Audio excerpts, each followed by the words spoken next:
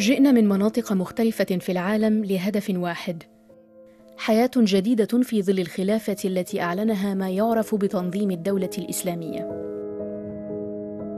والآن قد هربن، وهن في قبضة القوات الكردية في شمال سوريا.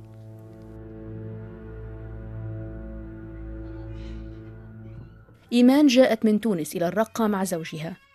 كان يريد أن يصبح مقاتلا معهم، أما هي فقالت إنها كانت تريد حياة إسلامية صحيحة. شفنا الأشياء بالتلفزيون وبالنت كيف داعش كانت بسوريا كيفاش تعامل الناس كيف تعمل أناشيد كيف تقيم شرع الله. عجبنا كانت لدي العديد من الأسئلة واستطعت أن أرسلها إليها. إيمان ألم تشاهدي الفيديوهات والصور التي أبرزت وأظهرت كيف يتعامل تنظيم الدولة مع أعدائه وخصومه بدموية؟ شي مرة تفرجت في فيديو بتونس كيف أخذوا شخص سرق وقطعوا له إيده. صح هاي. أما كثير باش نتفرج في الفيديوهات معناها ذبحوا ولا قتلوا لا. ما كانت تنشر هذا كثير. حدثيني عن اللحظة أو الموقف الذي تيقنت بعده أن كل ما أنت فيه هو خطأ وأن عليك أنت وزوجك أن تهربا من سوريا. شفنا اشياء أشياء غريبة. بيخلي إنسان بيخاف. حتى كناموا بخافوا على حالنا بخافوا على أطفالنا بخافوا على أزواجنا. نجموا نحن نايمين يجوا ياخذوا أزواجنا وبيقتلوهم هيك. من الصعب تحديد ما إذا كانت هذه المجموعة من السيدات اللواتي استطعن الهرب ضحايا. في وقت ما كانوا جميعا جزءا من تنظيم الدولة. النساء فيما يعرف بالدولة الإسلامية مطلوب منهن أن يقمن بأدوار الزوجة والأم وربة البيت. بعض هؤلاء النساء يتقلدن أدوارا أكثر أهمية بعضهن حتى يشاركن في القتال. في عام 2014 تشكلت في الرقة كتيبة الخنساء النسائية. مهمتها كانت تطبيق القواعد الصارمة للتنظيم بين النساء وعقابهن إن لزم الأمر. هاي المغربية كانت كثير بتعمل أشياء ما منيحة مع النساء اللي كانت هنيك موجودين بالمضافة كانت بتعذبهم.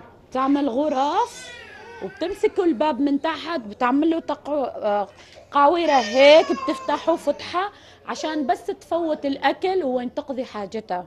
وبتمسكها هنيك هي وأطفالها وكمان كانت تضربهم.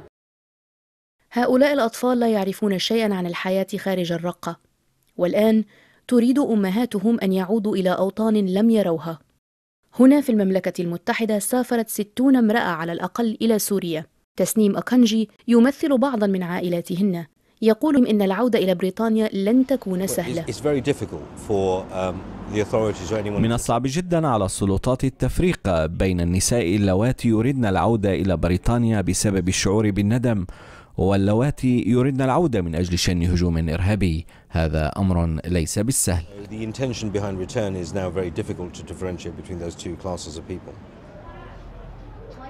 أما في ضواحي الرقة تقول إيمان إنها نادمة على تركها لوطنها. تطالبين بالعودة إلى بلدك إلى عائلتك. لما يجب عليهم أن يصدقونك الآن بعد أن كنت جزءا مما يعرف بتنظيم الدولة؟ إحنا إنسان نغلط بشر يغلط معناه. وننصح أي أي واحد أي واحد ينقذ حاله من هلا ولا لو شفت كيما داعش باش يموت كافر مفتس لا حور ولا تقابل عز وجل. راك نار جهنم وبئس المصير. ابن إيمان ولد في الرقة. تقول إن الأمل يحدوها في أن يكبر بعيدا عما يعرف بتنظيم الدولة الإسلامية. شيماء خليل بي بي سي.